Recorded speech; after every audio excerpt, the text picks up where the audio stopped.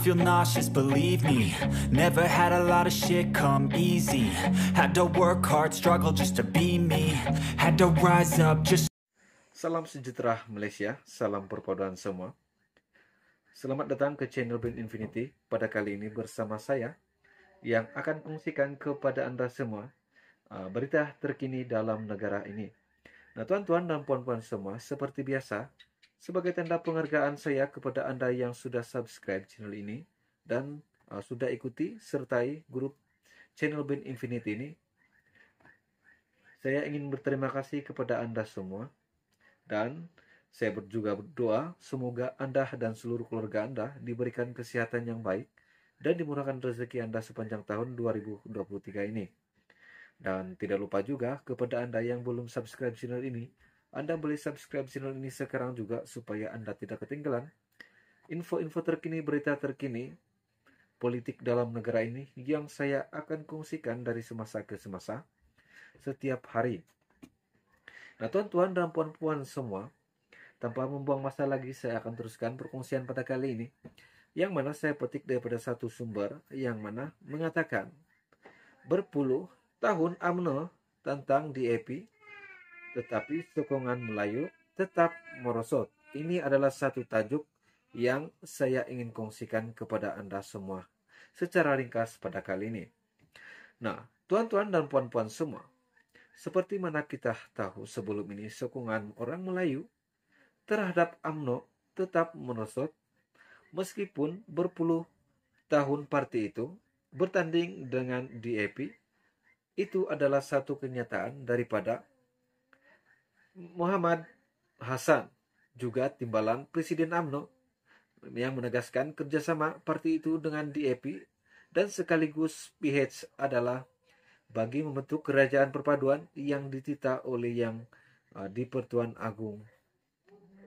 Dan pada masa sama, katanya juga AMNO bekal dan kekal bersama Barisan Nasional dan bukannya menyertai Pakatan Harapan dia juga berucap bagi merasmikan persidangan tahunan sayap-sayap AMNO di Kuala Lumpur malam tadi dan Muhammad berkata mereka menang uh, mereka memang tahu siapa DAP, PKR dan Amanah yang menjadi menjadi kemenangan Pakatan Harapan.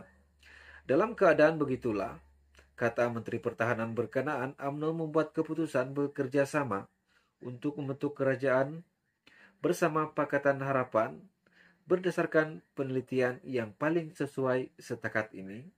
Dan ia juga kata Hasan membelikan AMNO mengurus uh, perbedaan di antara parti-parti itu. Dan juga dia menyatakan biar saya tegaskan di sini juga bahwa selama berpuluh tahun kita bertentang dengan DAP semua orang tahu itu kata beliau tetapi, adakah dengan pendirian sedemikian orang Melayu berduyun-duyun mendukung kita? Katanya. Dan dia juga menjadikan kita semua semakin kuat dan semakin berpengaruh dengan pendirian sedemikian. Itu adalah tanda tanya uh, yang dilemparkan oleh beliau kepada semua uh, ahli-ahli AMNO yang ada dalam persidangan itu. Dan keputusan beberapa pilihan raya umum lepas jelas menampakkan bahawa di sebalik cemuhan kita kepada DAP, sokongan, sokongan Melayu tidak meningkat. Malah makin merosot, kata beliau dan Muhammad juga berkata, pilihan itu adalah lebih baik berbanding kerajaan bekerjasama dengan Perikatan Nasional yang dianggotai oleh parti bertujuan untuk membunuh AMNO.